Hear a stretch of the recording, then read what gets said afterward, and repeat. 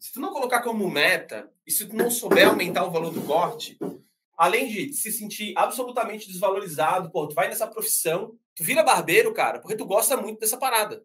Sabe? É uma paixão. A gente quer viver disso. E tu tá em algo que tu é completamente apaixonado, que tu gosta muito, que tu faria essa parada todos os dias, que tu não sente que tu vais trabalhar, tu vai porque tu gosta de verdade.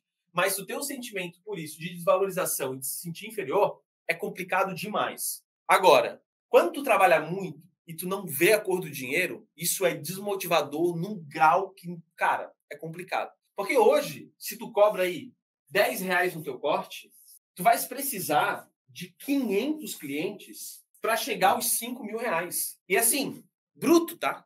Tô falando ganhar, lucrar entre 5 e 10 mil reais. Agora, 500 cabelos, meu amigo, é cabelo pra caramba. Tu vais trabalhar igual um doido.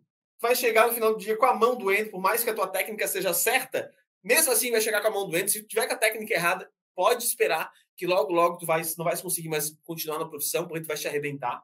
Agora, quando tu começa a cobrar a partir de 25 reais, já fica muito mais fácil.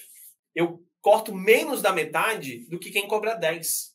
Então, cara, não tem como tu entrar nessa profissão e tu não conseguir aumentar o valor do corte. Primeiro, que vai afetar o teu emocional de uma maneira que é esmagadora, por se sentir inferior, se sentir totalmente desvalorizado na profissão, se sentir perdido porque não consegue aumentar e tu vais trabalhar igual um doido.